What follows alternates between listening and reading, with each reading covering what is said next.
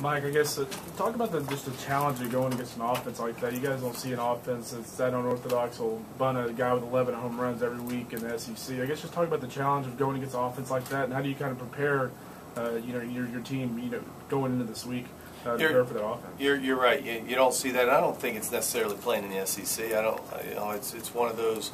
Uh, there's people that play a short game uh, but but not like that. You know, uh, they they got uh, a lot of good hitters in their lineup. Uh, they handle a lot of different pitches. I don't know if people give enough credit to you know just you know just you know how well they, they do hit. Um, but I, I, think the key tonight, and and again, I, I said you got to be careful. And what I meant by that is I don't want to take anything away from them. They they, they beat us. they got 11 hits. Um, but you know, uh, I just felt we gave them too many opportunities, and that's what we talked about all week. Is you know to, to limit their opportunities, and if you do that, you, you know, uh, you, know, you obviously have a much better shot. I mean, we, we drop a fly ball, they score a run. We walk a guy, hit a guy, walk a guy to start the next inning. Um, those three guys scored. Uh, then we walk a guy in. You know, that was the next run.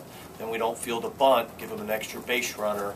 Um, and so not only does that give them a base runner, but it's one less out, you know, when that home run was hit.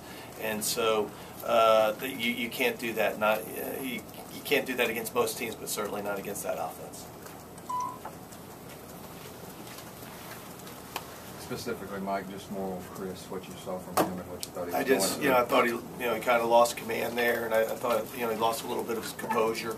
Um, and uh, and it happens, you know, but it hasn't happened to him all year. And uh, um, you know, you, you, see it a lot, you know, from guys that sometimes they just, you know, all of a sudden lose their rhythm. And uh, but uh, fortunately, one of the reasons that we're at where we're at is, you know, our three guys don't do that. You know, they. Uh, I, I, last time that happened to him, although it wasn't because of that, it was just getting hit, was out of Alabama, and that seemed forever ago. Uh, but uh, uh, he just, I think, lost his rhythm, couldn't get the ball back into the strike zone.